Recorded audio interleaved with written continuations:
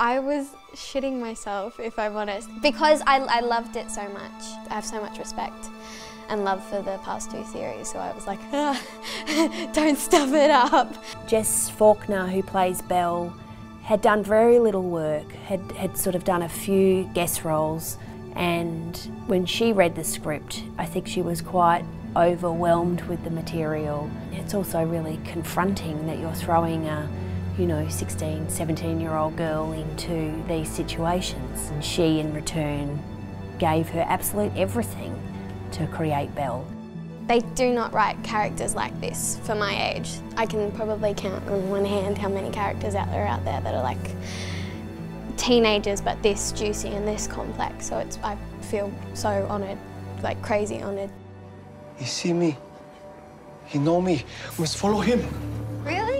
Yeah, being Chi has been such an insane experience because speaking to Louise Fox, the writer, creator, producer of the show, she's written such a specific character. You know, we were looking for uh, an actor of a certain age who could be a Cantonese speaker, who could be funny, who could be vulnerable, who could feel like a person of that era. He has to sing Peking opera, do a bit of martial arts, do a bit of clowning. One thing I couldn't do was uh, backflips. She wrote the guy can do backflips. I can't do backflips. We thought it was going to be impossible. We were going to have casting agents in Hong Kong. We'd have to look for someone all over the world. Harry turned up in the first casting session we had, and we immediately went, that guy is amazing, but we can't have found him so quickly. Louise,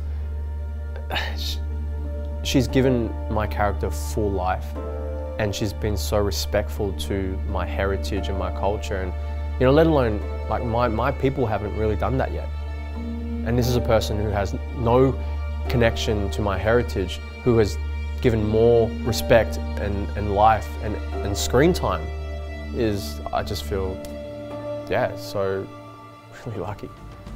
I feel like there's a, a particular type of storytelling you know, maybe it's the kind of storytelling that, that Paddy and Beau occupied in the show, a kind of this delightful double act.